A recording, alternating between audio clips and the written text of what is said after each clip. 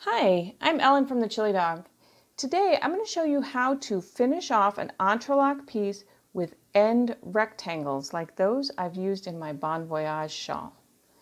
End rectangles create an interesting zigzagged or scalloped edge and are usually used in entrelac pieces that also began with a row of zigzagged base rectangles.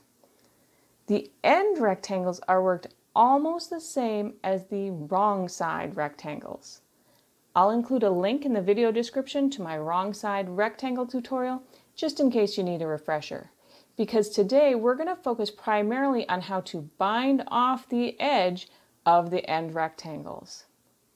Let's get started. I've already worked the first end rectangle in my sample just like I would here for a regular wrong side rectangle.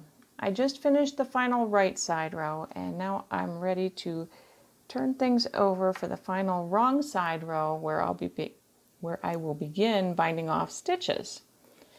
And you'll notice here I still have one stitch left from this lower rectangle. And so there's one more gap to close where I'll need to do a left slanting decrease of these last two stitches, the one from the end rectangle and the one from this lower rectangle. Since I don't have to worry about having a super stretchy bind off or a super stretchy edge on my end rectangles, and in fact I would actually prefer to have something a little bit firmer, I'm just going to bind off my stitches using a regular knit or purl bind off depending on what your stitch pattern is.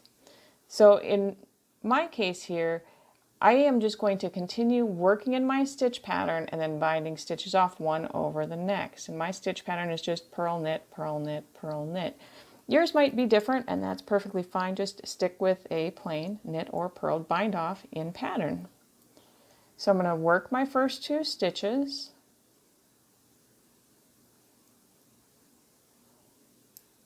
And then bind off by passing the first stitch up over the second. Work my next stitch in pattern.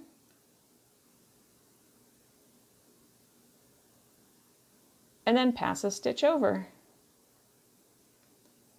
Work a stitch in pattern and pass a stitch over. Work a stitch in pattern and pass a stitch over. And I'm just going to continue binding off in that manner until I get to one stitch before the gap.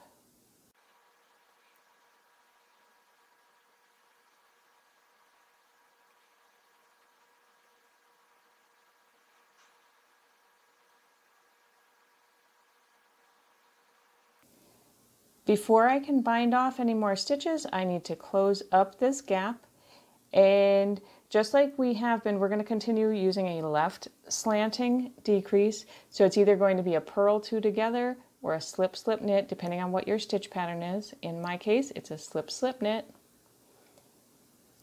So we'll close the gap by working those last two stitches together and then pass a stitch over. So now we're ready to pick up our stitches for the next end rectangle here along the edge of this lower rectangle. And the process of picking up the stitches is going to be exactly the same as we've used up to this point. So we were picking up half as many stitches as there are rows along this edge. And in my case here, I have 14 rows along, or 28 rows rather, along the edge. So I'll be picking up 14 stitches. But remember, we still have one stitch left from this first end rectangle. So we're going to pick up our first stitch along the edge, just like we have been. And once that very first stitch is picked up, we're going to go ahead and bind off the last stitch of the previous end rectangle. So we're just going to bind that off. And then we can continue picking up stitches along this edge. So since I've already picked up one, I have 13 more to pick up. And then I'll work this rectangle just like it was a wrong side rectangle up until the very last wrong side row where I'll bind off my stitches. I hope you've enjoyed learning all about entrelac. As I said when we first cast on, entrelac is my favorite type of knitting technique because it creates a very complicated looking design that's surprisingly simple to execute. If you've enjoyed this series, make sure to give this video a thumbs up and subscribe to my channel, The Chilly Dog, on YouTube to learn more interesting knitting techniques and tips. Until we stitch again, Happy knitting!